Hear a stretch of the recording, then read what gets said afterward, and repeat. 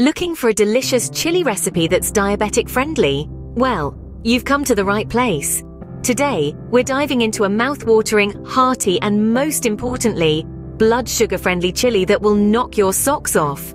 First things first, gather all your ingredients. You'll need a pound of lean ground turkey.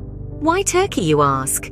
It's low in fat and high in protein, making it a great choice for managing blood sugar levels. You'll also need one large bell pepper, one medium onion, and three cloves of garlic. These veggies are not only packed with flavor, but are also low in carbohydrates. Next, you'll need a can of kidney beans. Yes, beans are a source of carbs, but they're also high in fiber, which helps to slow down the absorption of sugar into your bloodstream. Lastly, you'll need a can of diced tomatoes, chili powder, and cumin for that classic chili flavor.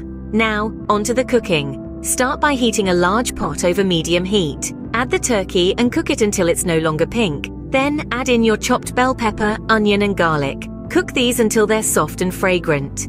Next, stir in your spices. A tablespoon each of chili powder and cumin should do the trick. Then add in your diced tomatoes and kidney beans. Give everything a good stir to make sure it's well combined. Now, the hard part. Cover your pot and let everything simmer for about 30 minutes. This will help all the flavors meld together and make your chili even more delicious. And there you have it, a delicious, hearty, diabetic-friendly chili. This recipe not only tastes great, but it's also packed with ingredients that can help manage blood sugar levels. The lean turkey provides protein, the veggies provide fiber and minimal carbs, and the beans provide a slow-release source of energy.